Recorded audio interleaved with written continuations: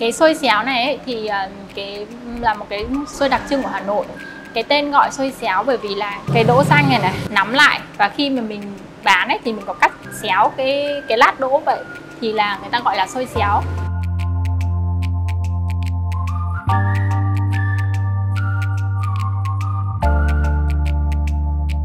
Quán chị tên um, xôi xéo bà Ba Béo Địa chỉ quán 101 Trần Trọng Cung, Tân Thuận Đông, quận 7 Quán chị bán từ à, 6 giờ sáng đến 14 giờ và từ 17 giờ đến 21 giờ hàng ngày.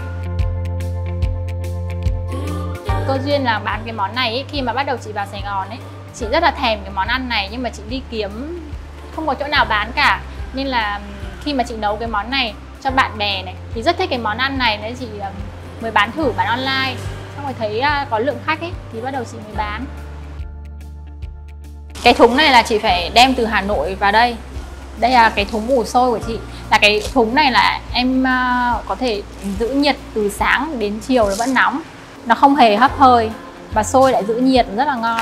Sôi lúc nào mình cũng phải đồ hai lần là mới ngon. Đầu sôi từ đêm hôm trước, dỡ sôi ra, xong rồi à, đến sáng sớm hôm sau khi mình bán, mình lại hấp sôi lại một lần nữa. Và sôi xéo là phải là màu vàng, là mình có thể là mình nấu với bột nghệ này, hoặc là cái quả rành rành. Ở đây thì chắc mọi người không biết quả rành rành rồi. Và có mỡ hành xong rồi mình dưới lên cái đỗ, rồi mình cho hành phi lên trên xôi, thì gọi là xôi xéo. Nhưng bây giờ mọi người là thích ăn cùng nhiều topping hơn. Menu của chị ấy thì là có ba loại xôi xôi xéo, xôi ngô, xôi trắng. Có thể một phần xôi mình có thể chọn từ một topping hoặc là nhiều topping là do ý thích của mình. Hoặc là có những người người ta chỉ thích ăn chay. Cái xôi xéo này, xôi ngô ăn chay rất là ngon. Vì xôi này có đậu xanh, hành phi, có thể ăn kèm với cả muối muối, ở đây gọi là muối mè ấy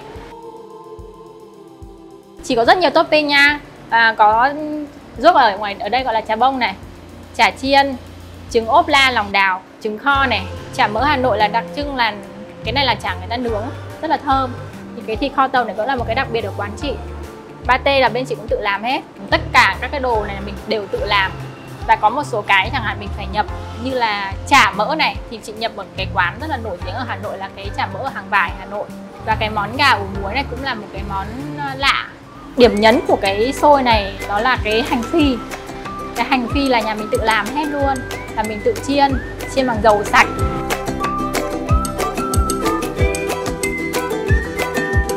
Bà ba béo là bà của chị, thì là bà dạy cho chị nấu cái xôi này.